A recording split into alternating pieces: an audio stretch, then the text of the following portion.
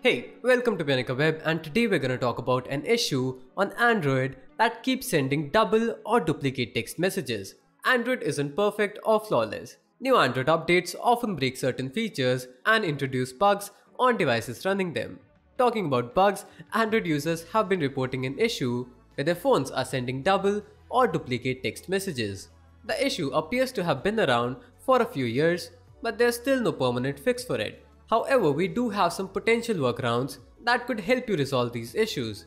A user claimed that they were able to fix the issue by simply turning off RCS messaging or advanced messaging on their device. Generic troubleshooting steps like force closing the messaging app, clearing the app's cache and data, and even rebooting your device could help you fix the problem. Do note that deleting the app data will lead to loss of all the messages you have, so make sure you back them up before doing so. Safaricom support also suggested users to reset the device back to default settings as a workaround. You can also try switching to a different messaging app like Google Messages, Pulse SMS, Textra and others. According to a redditor, a Swedish carrier Vimla has suggested that turning off VoLTE or 4G calling can prevent duplicate text.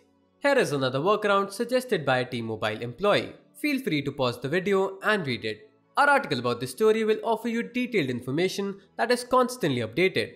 If you're watching this on YouTube, you can find the article link in the description. Also don't forget to like the video and subscribe to our channel for more of our content. This was it for today's video. Thanks for watching.